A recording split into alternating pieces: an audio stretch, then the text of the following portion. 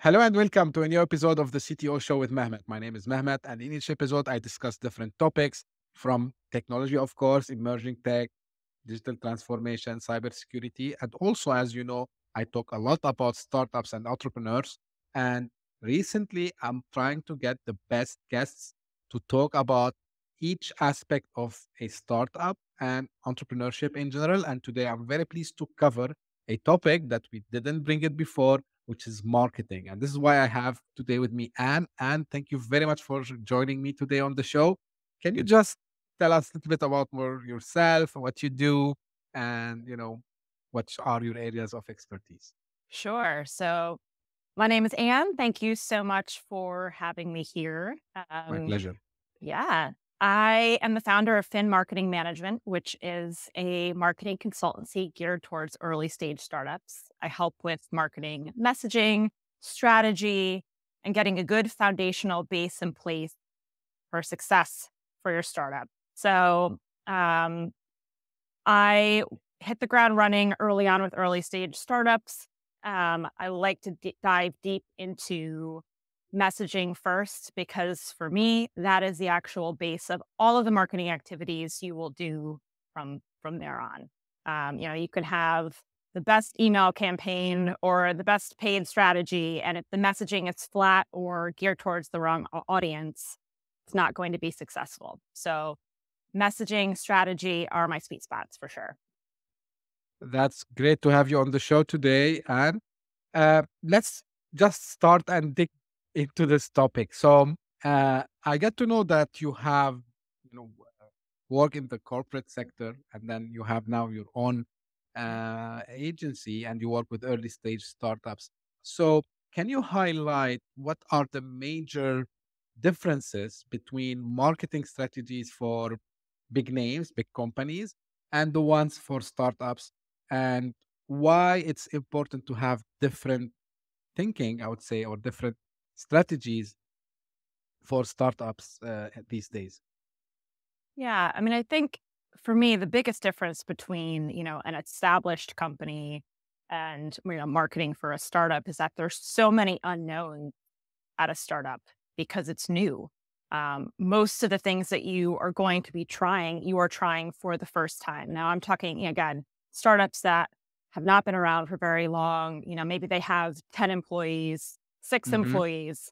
Um, so there's so many unknowns and so many variables um, and you need to be willing to change and pivot quickly. Where I would say at a more established company, you have some hopefully tried and true things that at least have worked in the past, some knowledge to base your decisions on, and are likely making more incremental changes to your plan rather than laying the groundwork for the first time. That's great to to hear. Now, you mentioned something that they need to be flexible, they need to be agile. Now, one of the topic that always I hear from other founders, like we have limited resources. So, and you know, of course, especially if they are bootstrap, um, cost might be something that uh, can affect. So, usually, how you recommend the best strategy based, you know, on how much budget a startup has, and you know, does it make difference if if you know they are bootstrapped or if they are like uh, funded? How do you deal with this? You know, I think you have to look at what your goals are. Um, obviously, funding is is an issue and resources an issue, both from a monetary standpoint and also, you know, human capital standpoint. So, you want to try to get the most bang for your buck. Um, again, going back to being flexible, sometimes you're not going to know what that is right away, right? You could ha- make some good guesses as to where you think you should go first you know whether that again if you if you have an email list email's a great place to start but maybe it's not going to be the most effective right or if you're looking to fill your pipeline maybe you start with a paid strategy uh, my point is that you need to be flexible and willing to try and fail to see yes are my resources allocated to the right spot? Um, you know are we are we seeing return on what we're spending? And is there still room left over to try um, and to try new things? I think one of the interesting things about you know being a, a head of marketing or a first hire at an early stage startup is that you're going to wear a lot of hats. Mm-hmm. And, you know, one of the things that I learned with that is, you know, there's really nothing outside the realm of your job at that point. Um, so you need to focus on what are the things that you're good at and where your expertise can be most effective. And then rely a lot on contract help, fractional help where you can. Again, that's another great way to kind of get the most bang for your buck early on, where you really likely can't hire more full-time help where you have to pay for benefits, et cetera. So um, yeah, flexibility is key. That's great insight. Now, you mentioned multiple times, you know, about the, I would say, strategies. One of them is email, content, you know. What, what do you see the most? And here, like, let's focus a little bit on tech startups mainly, like okay. to, to, to be more specific. What have you seen? You know, the majority of the time, it's, yeah, like, of course, there's no one uh, formula that would work with every startup. But right. what would be, you know, usually from your experience, you know, the the first thing that it should be tried, usually with tech startup, the first strategy? Is it content? Is it email? What could it be? Um, I have seen, and this also, I, I hate to say like it depends, but um, having a good paid strategy is a good way to start filling the pipeline up. Now, you know, the story with paid though is that you are reeling in potential customers that have already decided to buy. So this can be tough with an early stage startup that doesn't have a lot of awareness.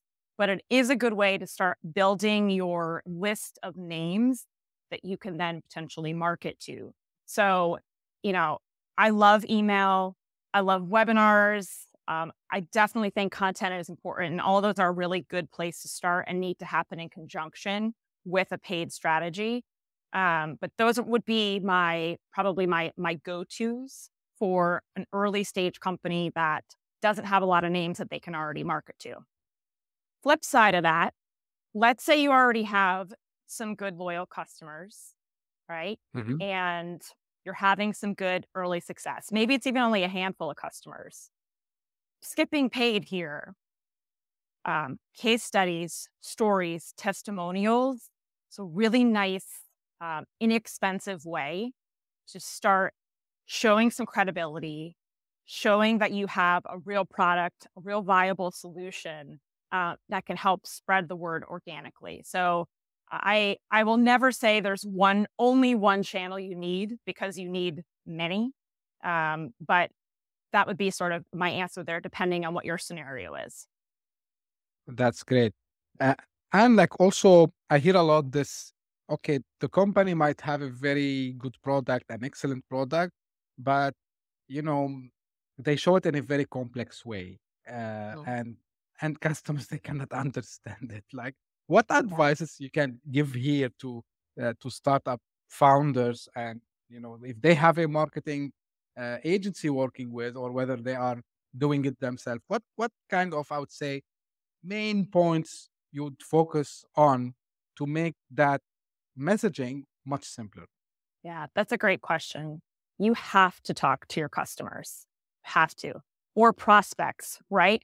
If you are doing a demo of your product and people are not understanding what it does, why it's doing what it does, how it helps them, definite red flags. So, my recommendation would be whether you're working with an agency or not, customer interviews, prospect interviews, have them go through and say where are you getting stuck? Where why doesn't it make sense to you? You know what what pieces don't feel right?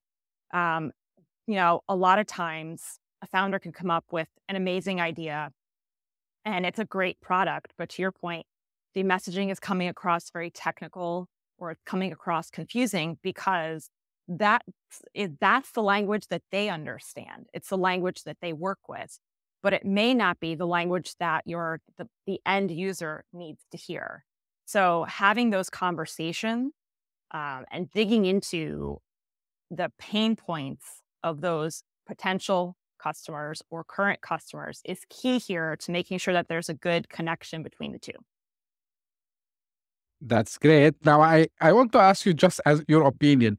Um, and this is happening across, I would say, startups and even uh, established companies. We see that from marketing perspective, they try to jump on a bandwagon, right? So, so let's say AI. So they just put too much AI. I've seen this also like they put too much. I don't know, like if it's related to security, they just also jump on a hype and they try to show the product. From your opinion, like, is this strategy something healthy on the long run? Good question. I have mixed feelings there, right? Because on one hand, I think it's not a terrible idea to, again, be flexible and be willing to try new things. But I also think, even for early stage companies, it's important to have a plan, some kind of structured strategy that you want to stick to. Now, it doesn't mean that you can't, you know, vary from the plan or again, be flexible, try something new. But it does make me a little, um, it would make me concerned if every new thing that came your way as a company had to be tried immediately. Because to me, that's the recipe for not understanding what's effective, you know, not knowing what to do next. Um, so while I think some flexibility is key, too much is a, is a bad thing. that's that's great answer, I would say also as well.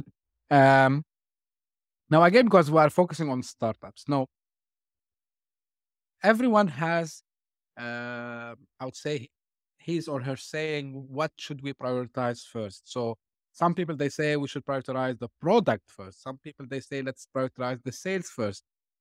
For you, like, do you say should I prioritize the marketing first, and how you see, you know, a good, I would say, sync and harmony between sales and marketing can give better results, especially for startups. Yeah. I mean, honestly, the first goal is to get customers. So you know, wherever, whatever stage the product is in, you need to get it in front of people. So whether it's, you know, your neighbor next door, something to start getting some feedback and to get the word out. I mean, that's, this is very early days. Um, you know, making sure you have some product market fit is it's really first. And you do that through customers. Um, for me as a marketer, the next phase of that would be the messaging, right? If you have a product, you have, you know, you have some loyal customers or some customers, it's really time to think about what problem are we trying to solve with this product and how do we get that word out effectively to let them know that you know we have a solution for you um, so that is why for me the messaging piece is that is is needs to happen pretty early on um, now, you asked an interesting question here about you know, the, the harmony between sales and marketing. For sure. You know, this is, I feel like can sometimes, and uh, ha, is probably mentioned multiple places where there can be friction yeah. between sales and marketing. And I get it. I felt it myself.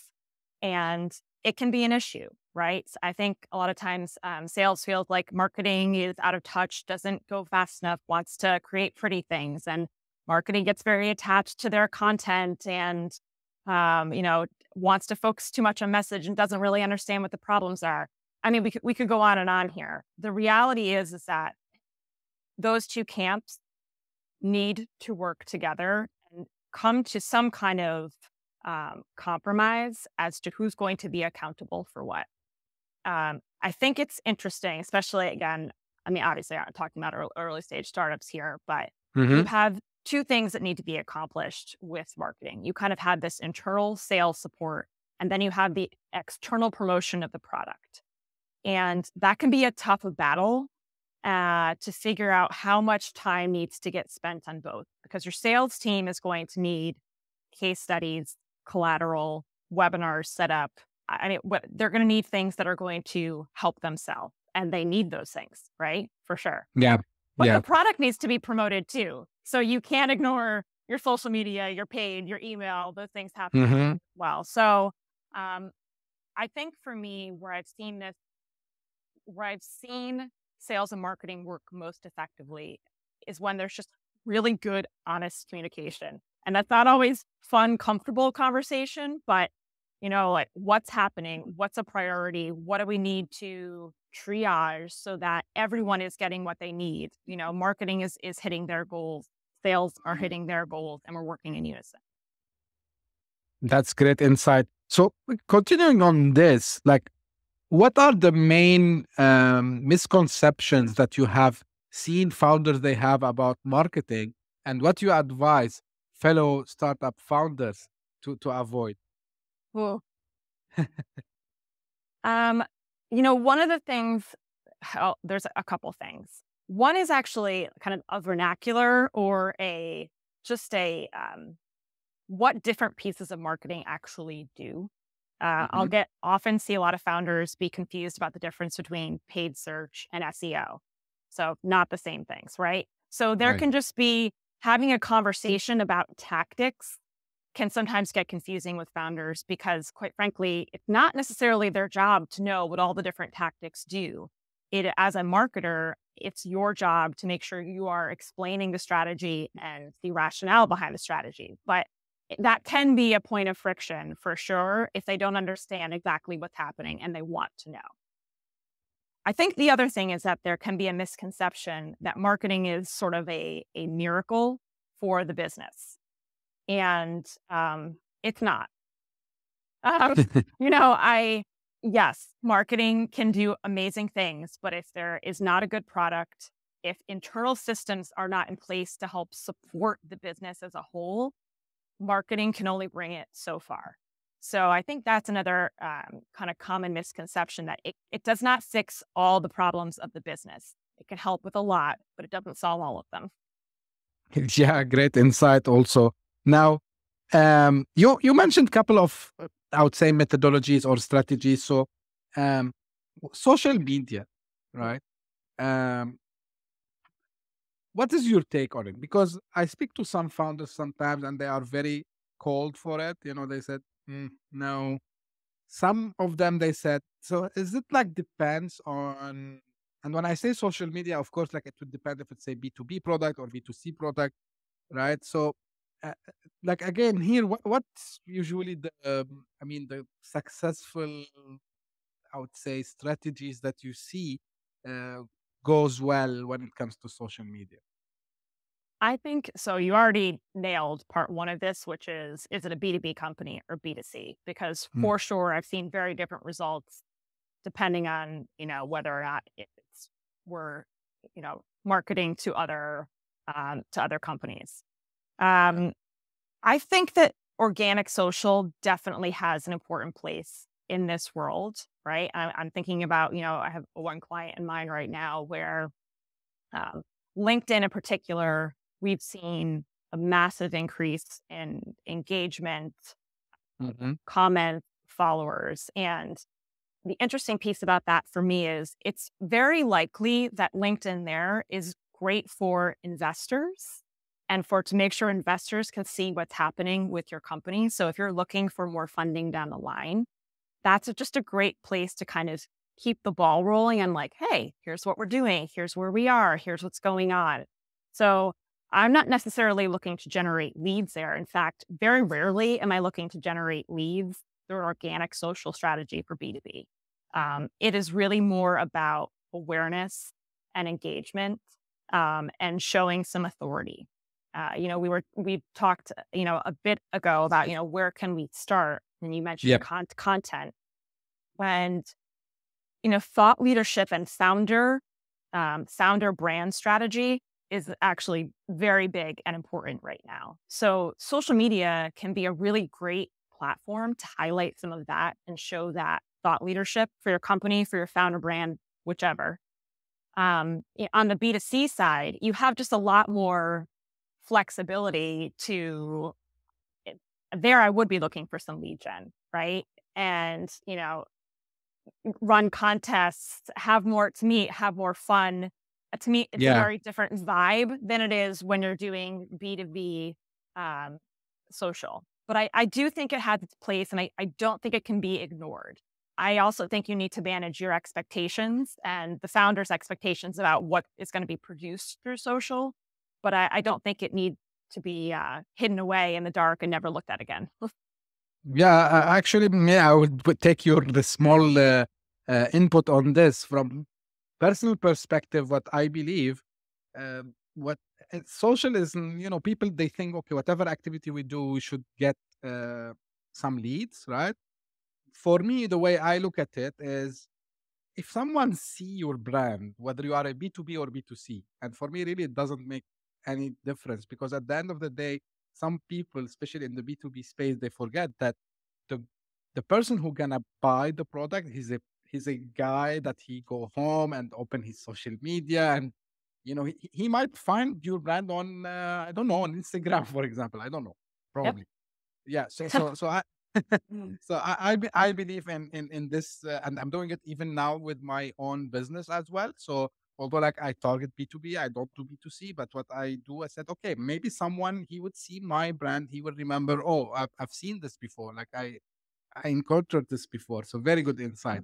Now, while I was doing my research uh, and like, um, you are an expert in interactive media. Can you explain a little bit about this and how this plays a role in the modern marketing strategy? Sure. I do have a, a story here. So I did, I, I, I got my master's degree in interactive media. Um, and at the time when I was there, it was things like um, app design, writing for the web. Um, mm-hmm. ethics of the web, all that kind of thing. So for me, how that translated, I, I never, I knew that I didn't want to, wasn't probably going to make an app or anything like that but it was mm-hmm. likely that I would be managing teams down the line that could be doing those things. It gave me really good exposure to design tools, again, things that I would need to know for the modern the, the modern marketer. I'm laughing because I got this degree many many years ago now, but um, for me, I mean, my my gosh, all of marketing feels interactive right now. I think for them it was primarily video, um, apps, things that move and can be adjusted yeah. on the web. Um, and I am thankful that I had that background because um, it gave me, again, just a lot of good insight as to what was coming and how to hopefully sit in a room and have conversations with people that were um, doing those jobs. That's uh, you know good insight again to to hear from you.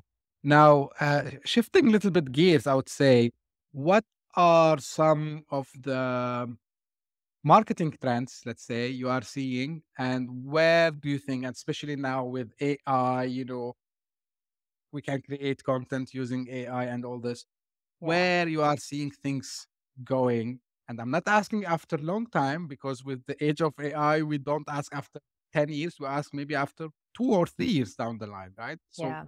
what do you think? You know, the AI piece is fascinating, uh, terrifying, amazing. It's all of those things. And, you know, uh, for myself, for my own business as a marketer, I, you know, my initial reaction was, oh my, yeah, is this going to replace all marketing jobs? Right. And I don't think that to be the case. Mm-hmm. I see marketing as a tool because the way that I've used it now, um, it's it does not replace the thinking that's happening in my head. It doesn't replace the conversations that I have with clients, with colleagues. Uh, maybe it does down the line. I don't know. Um, but for me, it is, it's a good tool though to help focus those thoughts or optimize some of those things or get me answers to questions that I, I might have. And it's I find it really helpful to use it that way. So I think in terms of trends, you're going to see more marketers find ways to utilize AI as a tool that helps them rather than hinders them. And um, I, I think that if you are unable to do that, you really will fall behind. Um, if you see it as something that's you know 100% bad or uh, the enemy. I, I, I think that that is the wrong approach here because there really are some true benefits uh, that are pretty unbelievable. You know, I'll, I will use it myself to help repurpose social mm-hmm. media content that I've created. So posts that I think should have done better or did really well, but want to divide it into five or six posts. I will use AI for that And again, it doesn't come back exactly right. And you know, my understanding is that the more that I use it, and it, it can learn my my own brand voice. But the real point here is that I think we're going to see just AI being incorporated into the day to day. And then with that, maybe change and shifts in jobs, right? Maybe the whatever the traditional marketers that we have now, maybe those roles won't exist, but there will be new ones that help monitor AI or I don't know, right? Run different yeah. things. Um, but I, I I think AI is here to stay. Um, and we need to be friends with it. Yeah, hundred percent. And you know, maybe we repeated this on on this show multiple times. AI augment, you know, our capabilities, Yeah. and I agree with you. Like maybe people who are responsible for content today would be responsible later in moderating, as you said, or maybe like it's actually forcing us to become more creative. I would say, Yeah. uh, because and honestly speaking, especially when it comes to marketing and like you know like every founder every uh, you know someone in business they get hundreds maybe thousands of of marketing messages daily and they they see. So actually i'm seeing it in the positive side because already it was a hard task to get to someone. So now it would be it will be more fil- like a better filtration i would say. So the ai would would really get us you know to whom should we target you know? Uh, i think if we'd use it this way marketing would make more sense for a lot of founders. Now before we close and um, just want to ask you because like you i know that majority of the time you work with fintech companies right Yep. um majority of the time but like of course you have exposure to see a lot of other uh, i would say trends in the market so what are the hot things you are seeing currently other than ai of course I mean, obviously, video and podcasts are still huge. Um, and being able to chop those videos down into small um, into small pieces, digestible pieces, that's not going anywhere. Um, you know, people like to digest their content that way. So to me, that's not necessarily a new trend, but I don't think that it's going anywhere. hmm Um, so making sure that you are able to incorporate some tiny bits uh, video, podcasting, any kind of, of content that could, can be consumed that way into your strategy is, is going to be huge for sure. good to know. Um, i have a final question i'm now making as a tradition. What is the question you wish that i asked you? And you can answer that question. Um, let's see here. Uh, how did I get my start in marketing? i was trying to ask it but okay. i thought Okay. yeah please yeah tell us how did you start with marketing I actually started in market research and Mhm. I worked for a large um, global market research company. And um, I loved it. I have a curious brain. And so, kind of being behind the scenes and seeing, learning about consumer insights and seeing how um, consumers responded to advertising or certain brands was fascinating to me. And that sort of just trickled into eventually, it, it took about, I was there for uh, almost nine years, I believe. And it made me want to change over to the other side where I got to actually promote these brands. But it gave me a really interesting background as I started, you know, marketing for companies and and uh, you know, marketing for clients. Just to think, like, in the back of my mind all the time was like, how do people respond? Why do they do the things that they do? And to keep that in mind as I as I build my own campaign. So that's how I got started. ah that's a good uh, story and you know it's really needs curiosity because you create something i mean a marketing material and you don't know how people would uh, would react to it so yeah it's Right. like exciting it's an exciting one Yeah. Great like uh, thank you very much Anne. i think you provided a lot of good insights for startup founders and people in tech in general also to understand more about you know early stage marketing. Um, what i would do also if anyone want to reach out to you so i will share your website also as well in the in the episode description so they can um, you know get in touch with you. This i think i do all the time And as we come close to the end, as usual, I repeat this. If you have any question, maybe to Anne, you can reach out to her, or you have a question to me. I'm always happy to to answer you. You can reach out to me by email. I'm very active on LinkedIn and a little bit on Twitter. So keep in touch. If you are interested to be a guest, same as Anne today, don't hesitate also to reach out. We can discuss that. We can arrange for that. No issues at all. And if it's the first time you are watching us, don't forget to subscribe. And if you are listening on your favorite podcasting platform, same thing. Don't forget to subscribe to the podcast. We are trying to get the best content ever. And mm. as usual, take care. And until we see you in the next time, bye bye. Thank you.